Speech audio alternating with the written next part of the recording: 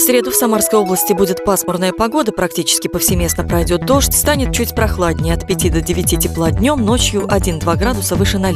Ветер восточного, юго-восточного направления будет дуть со скоростью 3-5 метров в секунду.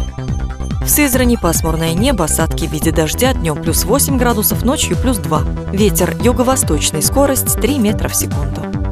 В Тольятти пасмурно, небольшой дождь, днем плюс 6, ночью плюс 2 градуса. Ветер восточный 3 метра в секунду.